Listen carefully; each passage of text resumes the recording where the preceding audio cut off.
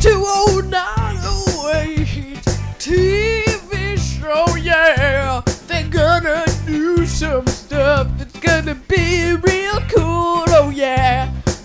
So stay tuned and watch the show. You're gonna really enjoy it. So here we